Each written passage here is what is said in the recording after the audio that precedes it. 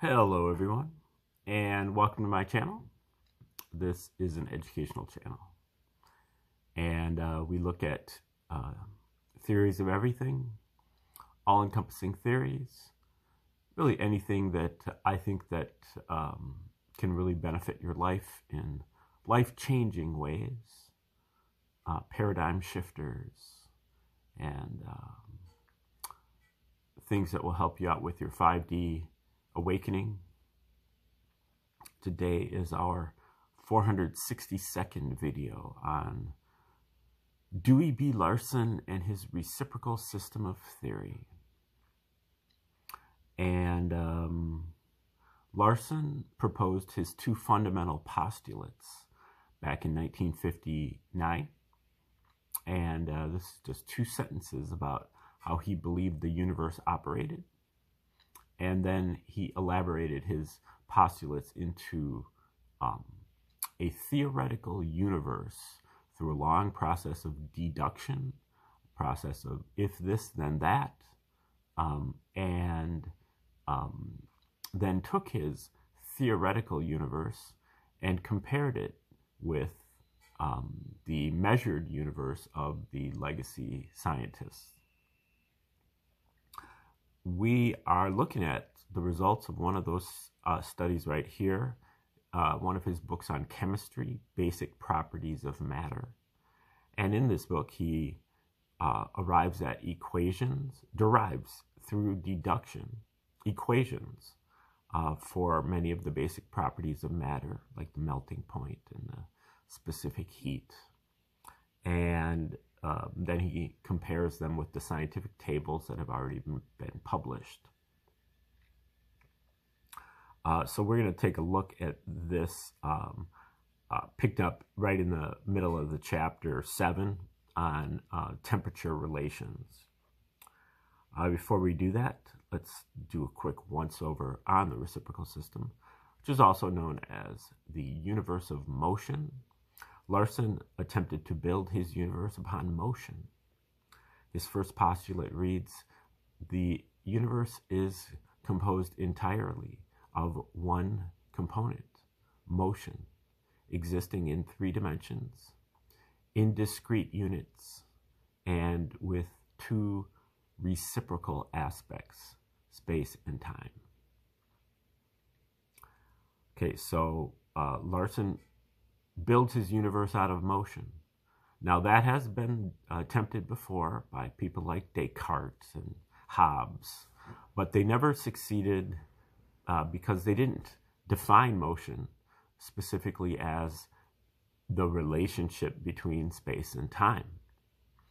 And um, now, when you have a universe of motion, really the first thing that you need to understand is that motion comes first. In a universe of motion, um, you have motion before you have anything moving. So um, you have to be able to accept the concept of motion without anything moving. And uh, that is really what Larson calls the progression of the natural reference system. This is the omnipresent, eternal, um, you know, at every location and at all times. Um, there is this underlying motion that is always there. And that is really the source of everything else. So we got to start with that. Now, when Larson is referring to motion, he's referring specifically to a kind of motion that he calls scalar motion. And a scalar motion, it's known by science, and you know, but it is not emphasized by science. They kind of put it into, um, you know, sweep it under the rug a little bit. But a scalar motion is a motion with a magnitude but no specific direction. So, um, you can visualize a scalar motion with a balloon that you put dots on. If you blow up the balloon, all the dots will be moving away from each other, but in no specific direction because every dot will be moving away from every other dot. And indeed, every location on the surface of that balloon will be moving away from every other location. Meaning that every dot is moving in every direction. There's no specific direction, it's moving in all directions. And uh, this is what Larson calls the progression, this outward motion of the balloon. Uh, and um, if you suck in the balloon and uh, you contract it, all the dots will be moving toward each other. And Larson refers to this as gravitation. Now, um, Larson defines motion as the relationship between space and time. Basically, motion is a fraction with space or time as the numerator and time or space as the denominator. Um, the most simple example of motion would be speed. The bike is going 10 miles per hour. 10 miles of space in one hour of time. Space over time is speed. And that is a reciprocal relationship between space and time. If you double the speed, you can say the bike's now going 20 miles per hour. Or if you, you can also equivalently say the bike is now going 10 miles per half hour. You can double the space or halve the time, um, and vice versa. That is a reciprocal relationship. And um, Larson extrapolates from speed and says, well, speed is a kind of motion, and it is a relationship between space and time. But I say that all kinds of motion are relationships between space and time. That is, all of our scientific phenomena are relationships between space and time. So he's talking about matter and energy and power and force and momentum, surface tension, electric charge, magnetic permeability. These are all forms of motion, and they are all uh, can be identified with their time space um, coordinates, so to speak. Um, like matter, matter is time to the third power over space to the third power. Um, force is time over space to the second power. Acceleration is space over time to the second power. And so on. So now you have a, a ref, you know, a, a system of units that is uh, superior to the MKS system because it's only using two variables instead of three. You get rid of the mass, and now you just have time and space only. And so uh, it makes your units a lot more easy to keep track of. Okay, now space and time have uh, space, time, and motion all come in three dimensions. Now we can see three dimensions of space obviously in our environment. Uh, Larson calls this coordinate space, x, y, z coordinates, up, down, left to right, and forward and back. These are three dimensions of space in a still frame. And at the same time, we are moving through time. Uh, we are progressing through time. Time is always getting later and later and later and later. Larson refers to this as the spatial reference system, coordinate space, and clock time and that's the spatial reference system. By the reciprocal postulate, there must also be a temporal reference system. And in this temporal reference system, we would see the same with space and time interchanged.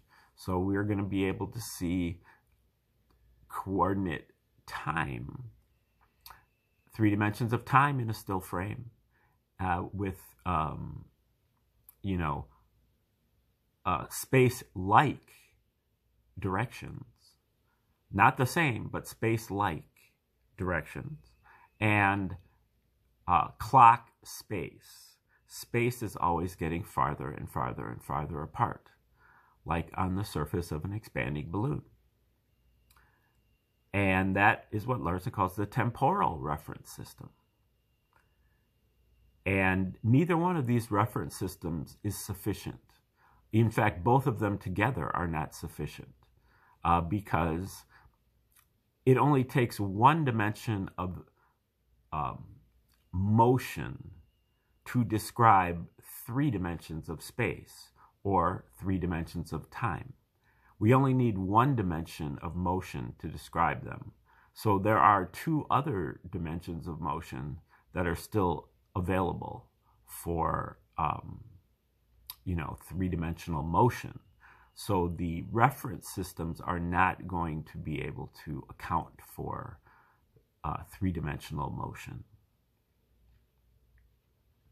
Now, um, if you have um, space and time and motion all coming in discrete units. Um, you have to have a full unit of space before you have space. You have to have a full unit of time before you have time. Um, and if you don't have a full unit, you haven't got anything. If you have one unit of space in one unit of time, space over time being speed, then you have what Larson calls unit speed. All of our scientific phenomena come in units. So if you have a unit of mass, that would be, you know, um,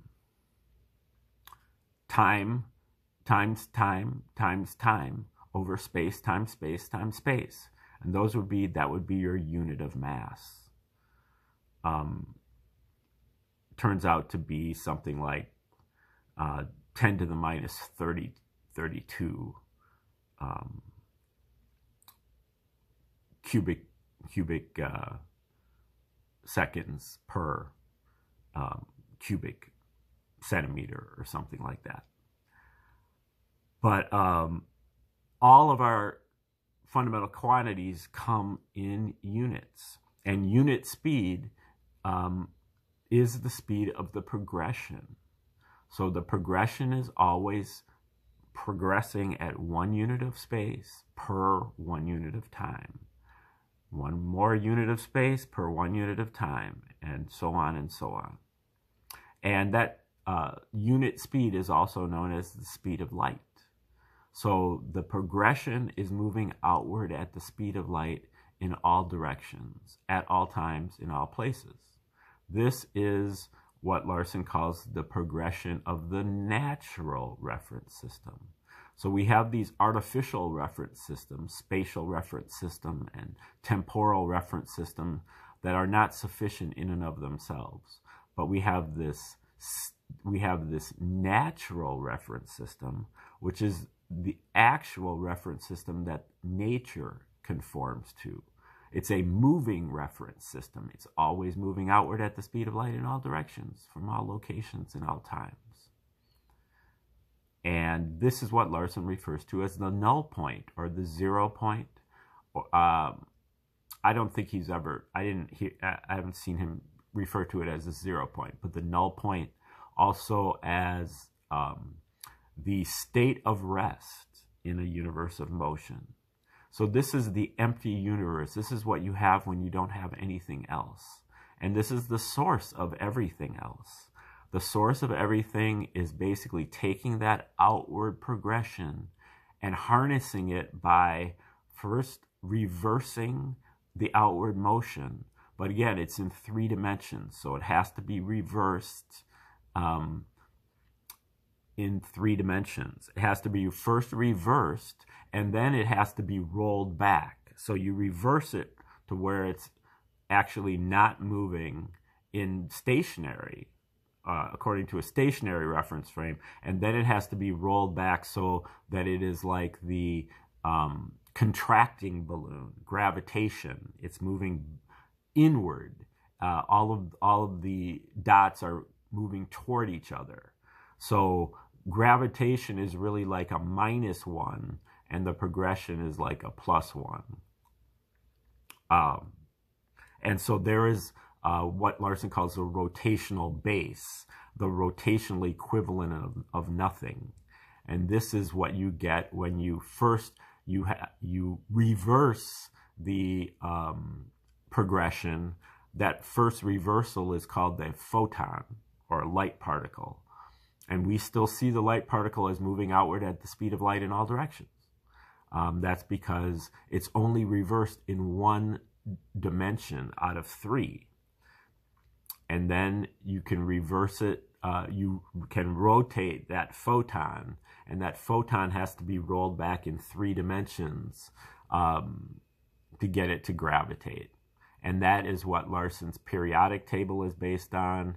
Um, this um, these three numbers of the rotational motions and their magnitudes. So, for example, oxygen, oxygen has three numbers. All elements have three numbers. Uh, the first is a primary two-dimensional rotation. The second is a secondary two-dimensional rotation, and the third is a um, optional one-dimensional vibration. So the third number can be zero, uh, as in the noble gases, but it can be positive or negative as well. And the first two numbers alternate. So the you know the first number goes to the first spot, and the second goes to the next spot, uh, to the second spot, and then back to the first spot, and then back to the second spot. And so it builds up that way all the way up to uh, what Larson says, element 117, which would be notated as 5, 4, minus 1. So it can't go beyond 5. And um, now, when you do have matter, so you can have matter and cosmic matter, depending on whether you're reversing the progression in time or in space. So, um, when you're reversing it in space, you have uh, what Larson calls the material sector. This is matter that is moving slower than the speed of light. Um, but you also have the cosmic sector where everything is moving faster than the speed of light. This is really unknown to science. They uh, have detected some of these cosmic atoms and cosmic molecules and they generally identify them as mesons or anti antimatter. Um, but in the material sector, if you have two atoms and they approach each other uh, to get to be one unit of space apart, remembering that space, time, and motion come only in discrete units, and the unit of space is approximately uh, two millionths of an inch, 4.56 times 10 to the minus 8 meters. And um, once they approach each other to one unit apart, they can't move any closer because you can't have less than one unit of space. And so instead, they start moving outward in time instead of space because they can't move in space. And uh, when you move outward in time, by the reciprocal postulate, that is the equivalent of moving inward in space. And we actually see it as inward in space because we can't see time. We only see space because we're anchored to the spatial reference system because we're in a gravitationally bound system. And so we see it in equivalent space. And there's a few adjustments that you have to make for your uh, perceptual abilities to see into this, uh, what he calls the time region, the region inside one unit of space. This is the region of atoms and molecules, uh, particularly in the solid state. And um, the directions also reverse within the um, time region, as well as within the space region, which is the reciprocal of that over in the cosmic sector, within one unit of time, you have only space. And so the same thing happens with the cosmic atoms and molecules over in the time region. But when you look across that boundary, the uh, rules invert again, and so now the progression is moving inward in equivalent space. Gravitation is moving outward, and um, that you're uh, now able to establish an uh, interatomic equilibrium. Atoms uh, basically join together uh, in in geometrical bonding. Um, based on the equilibrium distance, which is where the progression equals gravitation. And um, the progression leads to phenomena that are based on uh, pressure, and gravitation uh, leads toward temperature. So those are kind of the two main forces that atoms deal with in the time region. And this is what Larson has been dealing with when he's been discussing this in this book uh, at the beginning here. Uh, he's done a chapter on compressibility and he did four chapters on heat. This is the third one called temperature relations. We're going to start reading here. Um, you might or might not understand most of this stuff. It, some of it is kind of technical and detailed, but I will try to uh, walk you through it. Uh, but you'll be confused about quite a few things. Don't let that worry you. You're really just trying to get the general ideas um, because the general ideas are what you can pass along to other fields. Remembering that this is a theory of everything. So you don't have to learn a whole new subject every time you switch subjects. You know, there's one general idea, one general system of understanding all subjects. Okay. If the thermal factors remain constant as they do in the regular pattern followed by such elements as silver in figure 5, there should be a transition to n equals 2 at this 126 K or Kelvin temperature, uh, which we talked about yesterday. And um, the specific heat above this point would follow the extension of a line from the initial level 3.89 to 4.63 at 126 Kelvin. Now, um, just remember that the specific heat is really the efficiency of heat uh, addition. So, um, how much one unit of heat is going to heat up how you know how many degrees is it going to heat up a specific uh, substance and every every atom every molecule has their own temperature and it uh, they each one of them follows a specific heat curve where it heats up um, but there are transition points in for each atom uh, where it switches to a new rotational factor, um, and the it it basically makes it so that more heat comes in um, uh, or more temperature change for uh, a specific level of heat. And that is because uh, of statistics and that the atom is going to do whatever it can to avoid uh, going across the melting point because uh, the solid is a more probable state to be in. So the atom goes through various machinations in order to avoid crossing that boundary. But instead of continuing on a 482 factor basis. The thermal factors decrease to 462 at the transition point. These factors uh, correspond to a transition temperature of 108 Kelvin. The specific heat of the molecule um, that yeah okay i understand okay the specific heat of the molecule therefore undergoes an isothermal increase at 126 K to the extension of a line from the initial level of 3.89 to 4.63 at 108 Kelvin and follows this line at higher temperatures. The effect of the isothermal increase in the specific heat of the individual molecules is, of course, spread out over a substantial temperature range in application to a solid aggregate by the distribution of molecular velocities.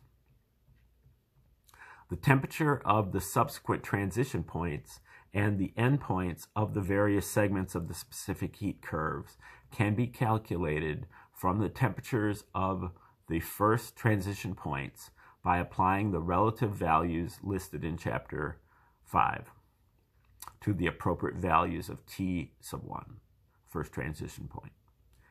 An approximate agreement between the empirical data and the higher transition points thus calculated is indicated, but the angles at which the upper segments of the curves intersect are too small uh, to permit any close empirical definition of the temperature of intersection. The only one of the endpoints that has any real significance is the endpoint of the last segment of the curve applicable to the substance under consideration. This is the temperature unit of the solid, temperature limit of the solid, sorry. Any further addition of heat initiates the transition to the liquid state. Inasmuch as it is the individual molecule that reaches its thermal limit at the solid endpoint, it is the individual molecule that makes the transition to the liquid state. Physical state is thus basically a property of the individual molecule rather than a property of the aggregate as seen in conventional physical theory.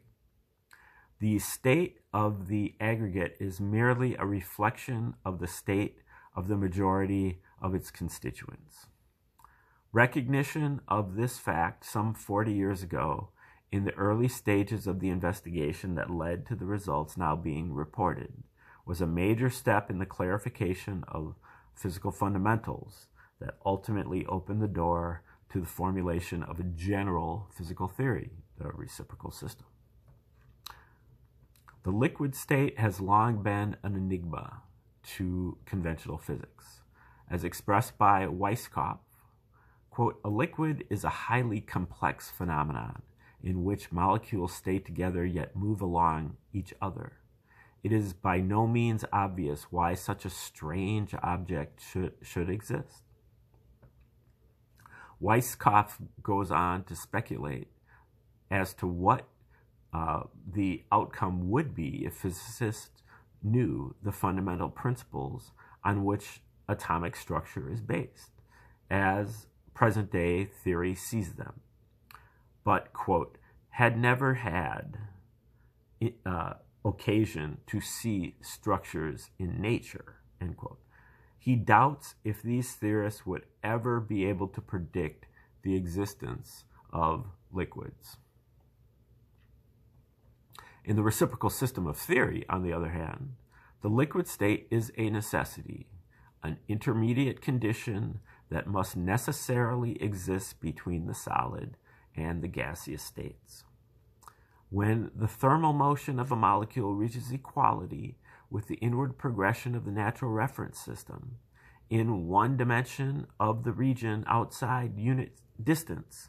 The cohesive force in that dimension is eliminated. The molecule is then free to move in that dimension. Okay, so uh, when the thermal motion equals the um, cohesive force, then the co cohesive force is eliminated.